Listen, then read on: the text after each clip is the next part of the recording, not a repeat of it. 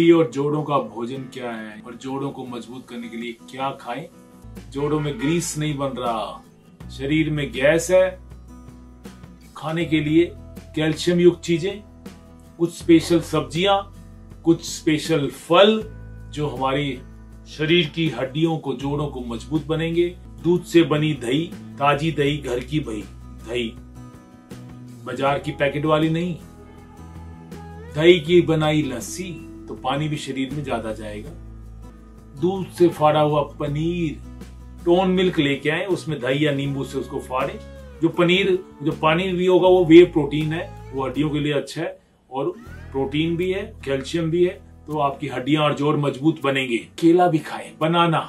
भगवान का बनाया हुआ पैक्ड हलवा है ये।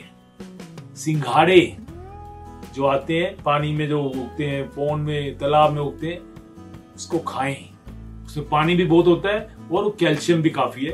उसका आटा भी आता है सिंगाड़े का आटा जो वर्त में यूज़ करते हैं हम। रागी का आटा। रागी एक काले काले सरसों के दाने के समान होती है। बाजरे की खिचड़ी, बाजरे की रोटी, मक्के का आटा, उसकी रोटी बनाएँ, हरा साग खाएँ। हरे साग के अपने गुण है उसमें प्रोटीन्स विटामिन हैं और मक्के की रोटी बनाएँ। उसमें मूली भर लें तो और ज़्यादा फ़ायदा। मूली में भी बहुत कैल्शियम है तो मक्के की रोटी, कमल ककड़ी भे बहुत फ़ायदेमंद लकड़ी की डंडी की तरह होती है।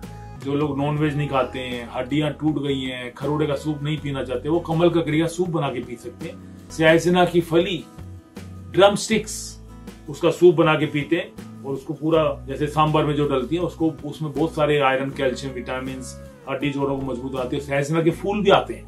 वो हड्डी जोड़ों को बहुत मज़बूत करेंगे।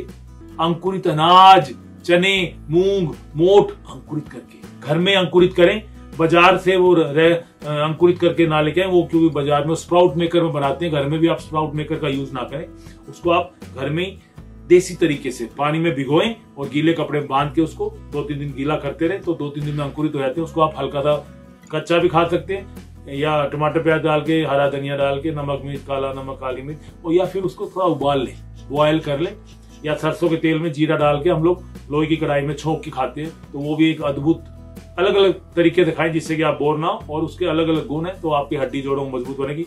पेठे की सब्ज़ी भी बहुत फ़ायदेमंद है। पेठे की सब्ज़ी जो भंडारे में यूज़ होती है तो उसको भी आप कभी कभी खाएँ, छिलके समेत बनाएँ तो उसमें बहुत फ़ायदा है। लहसुन जोड़ों को मज़बूत बनाता है, घुटने को मज़बूत बनाता है। देसी लहसुन लेके आए, सिंगल पोथी का लहसुन लेके आए, उसको आप रात को पानी में भिगो दें, और दो पोथी लहसुन की खा लें, ऊपर से गुनगुना पानी पी ले सुबह खाली पेट पीते हैं बहुत अच्छा काली मिर्च। घुटनों के लिए, जोड़ों के लिए, हड्डियों के लिए बहुत अच्छी मीट है। उसको थोड़ा कूट के दाल, सब्ज़ी में डाल लें कूट के, पीसे कम। पीसने से उसकी ताकत कम हो जाएँगी।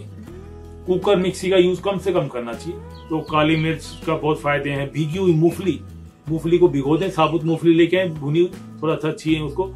मूंगफली छील के, छिलके समेत भिगो दें। और छिलके समेत कभी कभी खाएँ। आठ, दस पीस मूंगफली के भीगी हुई मूंगफली अगर हम खाते हैं, बहुत फ़ायदेमंद है। आंवला, विटामिन सी है उसके अंदर। वो आपकी हड्डी जोड़ों को मज़बूत बनाएगा, जोड़ों में ग्रीस बनाएगा, हड्डियों में कैल्शियम बनाएगा। मीठा आंवले का भी सेवन करें, उसका अचार बना सकते हैं। या फिर आंवला आप वैसे नमक लगा खाते हैं, उसके बाद पानी पियोगे तो बहुत फ़ायदा करता है। कुछ स्पेशल सब्जियों में, जैसे ये आपका कटहल, बहुत फ़ायदेमंद है। कटहल की सब्ज़ी अगर आप खाते हैं, केले का तना आता है, उसका सूप बना के हम लोग पीते हैं, केले का तना।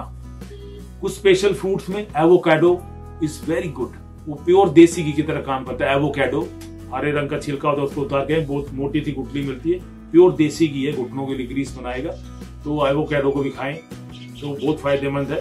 और जो सीजनल कुछ फ्रूट्स आते हैं, जैसे आलू बुखारा है, शहतूत है, बेर है, ये ज़रूर एक दो बार ज़रूर खाएँ, इनका सेवन करें। उम्मीद आपको ये वीडियो पसंद आया होगा। आखिरी तक वीडियो देखने के लिए आपको बहुत बहुत धन्यवाद, शुक्रिया।